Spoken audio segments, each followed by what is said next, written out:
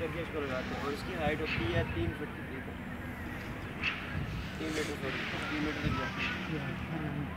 मजबूती से पकड़ोगे इसकी पहली प्रैक्टिस लेग लेग्स वन इसे कहते हैं डिप्स सेकंड प्रैक्टिस इसकी लेग्स को इस तरह खींच के रखना।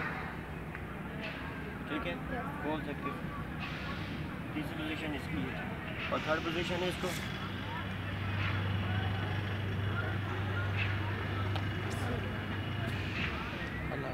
ये इसमें किस चीज़ की पावर यूज़ हो रही है?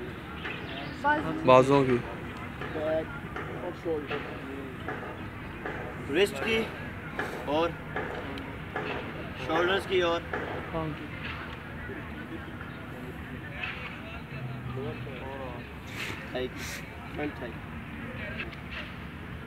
यहाँ पे रोज हो रहा है। ठीक है ये चीज़ खिंची होनी चाहिए बिल्कुल।